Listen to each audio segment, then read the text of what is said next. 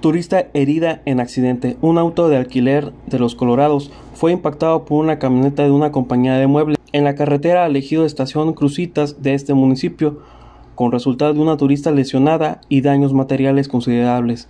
El accidente sucedió en la tarde del lunes en el entroque del tramo Valles La Incada al ejido mencionado.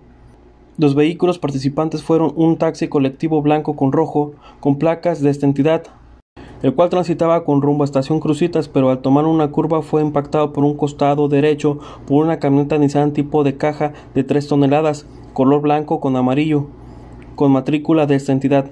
A causa del impacto resultó afectada la pasajera María Relicario Montoya Amaro, de 66 años de edad, quien es originario de Cholula, Puebla, pero se encuentra en visita en Ciudad Valles, quien fue trasladada a una clínica particular por presentar dolor de rodillas, así como una región cervical y lumbar. Ignacio Barrientos para el Mañana Multimedios.